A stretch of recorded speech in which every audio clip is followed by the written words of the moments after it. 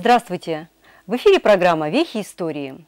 Сегодня у нас в гостях ветеран Медвежьего, представитель рабочей профессии Мария Ивановна Бондаренко.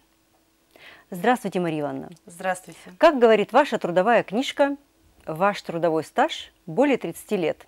Да. И все это время на Медвежьем. Да, Да? на одном месте. Как так случилось? Кто же вас завербовал на Медвежье? В каком году это случилось? Так получилось. э, В 1984 году приехала сестра с мужем в, го- в гости, в отпуск э, на Большую Землю. И я работала тогда на фабрике швейной. Ну и зять э, просто в шутку спросил, ты не хочешь с нами поехать? Я говорю, куда? На север. Я говорю, а можно? Он говорит, да. Он привез своему другу вызов. Но так как друг не поехал по каким-то причинам, у него был этот вызов. Я говорю, поехали. И все. И в этот же день я написала заявление, две недели отработала на фабрике. И все, и уехала на север. И получается, приехали на Медвежье, а устроились-то по какой специальности? Другая же у вас была, да? Не такая, да, как э, да. вы работали на я земле? в- 14 сентября, я помню хорошо этот день, мы приехали. И 1 октября я уже в ГПУ в отделе кадров написала заявление на учебу. Тогда было кочегара котельных, не оператора котельных, а кочегар котельных установок. И отправили меня в Надым, в учкомбинат. Отучилась, сдала экзамены, практику проходила на втором ГП. И 15 сенте- э, февраля приехала на ГП-8 и по сей день. Кто тогда руководил промыслом? С кем работали? Давайте, наверное, Чугунов- вспомним. Чугунов Леонид Семенович, замечательный человек, замечательный. Но мы мало проработали, год всего лишь, потом он на повышение пошел. На генерального ди- На- да, на наверное, генерального сначала директора. начальником ГПУ он был, да? Потом он был начальником МГПУ, да. А к нам пришел Балаев Сергей Николаевич, тоже замечательный. Мы уже много лет с ним проработали. Ну, А с кем еще рядом, рядом работали? С коллегами, уже ветеранами? Кто уехал? Э, вы может быть, знаете, э, вспомнить их? Так, да, почему? Тогда мы начинали с Федором, с Димой. Дима, он работал машинистом ДК, ДКС. Э, эм, Алексеем Владимиром Николаевичем тоже он. И, к сожалению, многие уже нет в живых. Уже такие, Люди такого так- возраста, да? такого возраста, да, которых нет в живых, да. А Лидия Андреевна Самолюк, это моя напарница, я с ней 9 лет работала. Она живет в Калуге, мы переписываемся. Я думаю, что в будущем будем видеться рядышком, там живем. Ну вот вы уже столько лет работаете, наверняка и молодых своему ремеслу обучали. Да, Помните, кого да, учили? Да, были. Кто эти ученики? Вот э, первая моя напарница была Лидия Андреевна, кото- вот, которая пришла ко мне на смену. Она только-только с учкомбината, поэтому ей пришлось многому научиться у меня. Потом были с училища молодые, и Наталья, и мальчик, э, па- парень молодой, э, к сожалению, очень в раннем возрасте погиб. Года два на ГП-9 он работал. Потом еще парень был молодой, но он, правда, по состоянию здоровья почему-то не, не стал работать.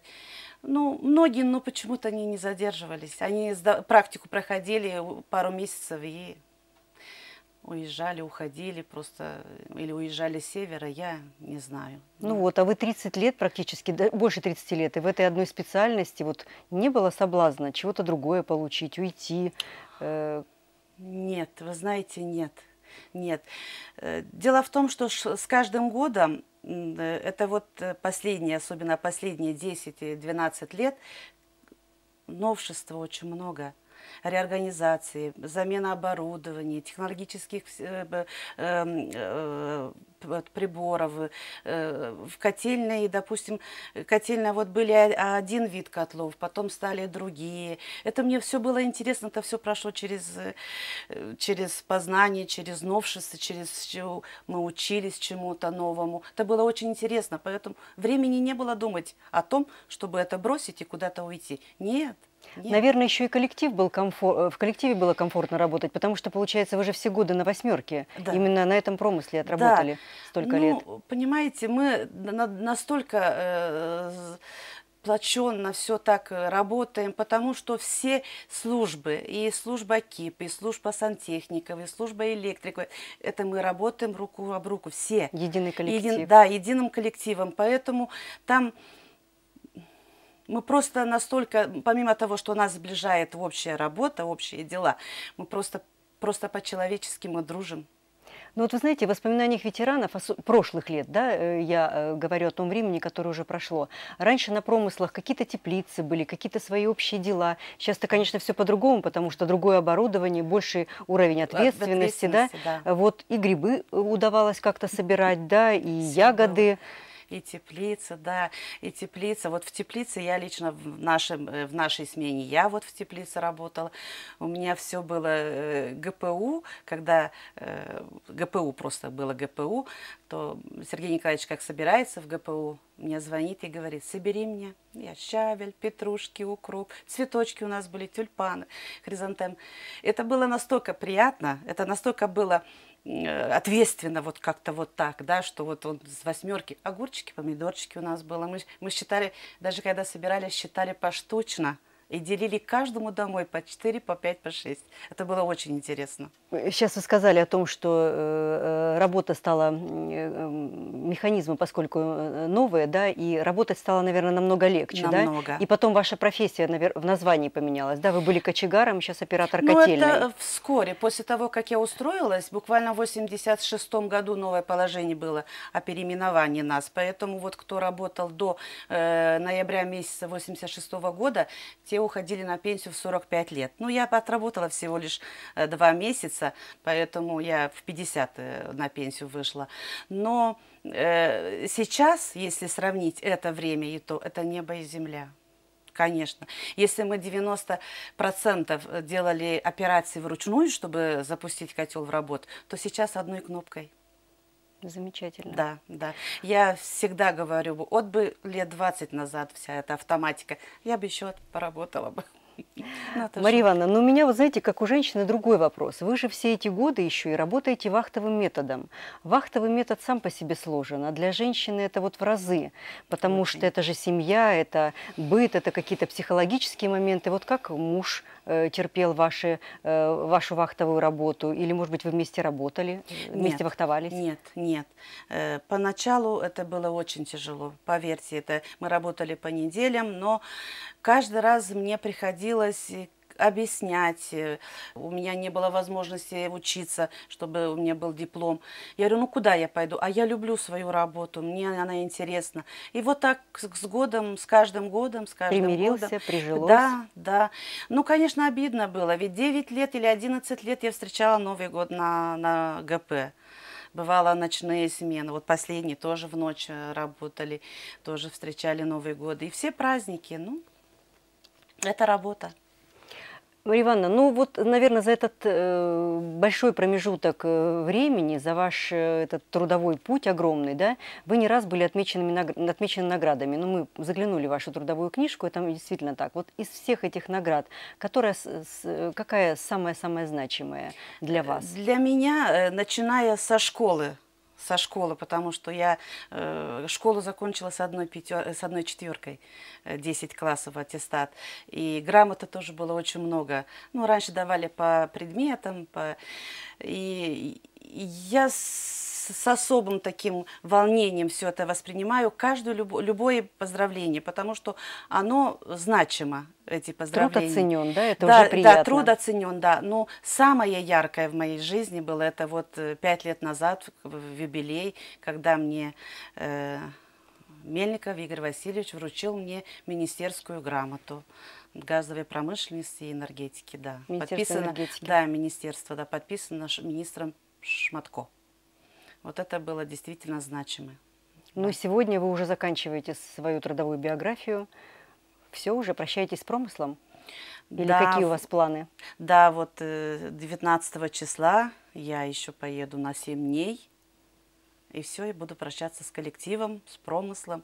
Я в душе уже давно готова к этому, но все равно волнительно, трогательно и немножко Грустно, наверное, грустно. да? Да, да, грустно, конечно, потому что все-таки 30 с лишним лет это много. Вот знаете, э, еще вот когда работаешь вахтовым методом, получается, последние годы два, два на два ведь вы работали, да, две недели на две да, недели. Да, на да, две больше. недели вы покидали Надым, потом снова возвращались. Впервые приехали вы в Надым, я так понимаю, да, потом уже устраивались на работу на Медвежке в Пангадах, нет, да? Нет, нет, я приехала в Панг, я жила в Пангадах, Пангадах. у сестры своей, да. А потом да. переехали а уже потом в Надым, уже, да? да, мне общежитие дали на Полярное, потом квартиру и так со временем. Вот были ли вот эти удивления, когда вы приезжаете, на дым другой? Может быть, это не так быстро, э, вернее, не, ну, не так быстро они происходили, да, но вот когда жили в Пангадах, а потом переехали, например, на дым, потом через две недели опять на дым возвращались. Какие-то для себя такие вот отмечали, что на дым хорошеет, на дым становится другим? Вы знаете, я полюбила Надым с того дня, как я учила звучкомбинате. Мне поселок Пангада тогда показался очень бедным ну, балки, много снега, холодно было, когда я первый раз для меня это было. А в Надым все-таки город, магазинов побольше, улица. Людей больше. Людей побольше. Кинотеатр. Кино, да, тогда хоть мы доставали, как доставали, редкие, редко показывали фильм. Поэтому я, как только закончила учкомбинат, я сразу ну, и уже на работу, на восьмерку уже пришла. Я Леониду Семеновичу сразу сказал, я хочу получить общежитие в Надыме. Он говорит, какие проблемы? И через две недели мне дали и уже стали вахтоваться Я уже Надыма, стала, да, да, да. да. Поэтому э, с отпуска все эти годы, каждый год с большим, с большим удовольствием приезжала с отпуска сюда. Поэтому я думаю, что я не на совсем попрощаюсь с Надыном. Изредка будем, потому что здесь э, дети моего мужа, внуки. Я думаю, что мы будем приезжать с удовольствием. Да и просто повидаться с подругой, с друзьями, с родственниками. Это, потому что большей части жизни моей здесь, здесь прожита. Да. Я приехала, мне было 23, сейчас 55. Это... Великолепно выглядите. Спасибо, Мария Ивановна, за участие в программе. И успехов вам э, ну, вот на том пути, который вы для себя в дальнейшем выбира... выбираете. Я хочу вас поблагодарить и вручить вот э, такой э, комплект дисков о нашем предприятии. Думаю, что вам Спасибо. будет интересно Конечно, их смотреть. Очень. И, э, ну вот, может быть, нотки ностальгии будете таким образом э, Спасибо вам большое. рассеивать. Обязательно. Спасибо вам огромное. Уважаемые телезрители, наша передача подошла к концу. Я напоминаю, что гостем сегодняшнего нашего выпуска была Мария Ивановна Бондаренко, ветеран Медвежьего и почетный работник нашего предприятия. Всего вам самого доброго и до новых встреч!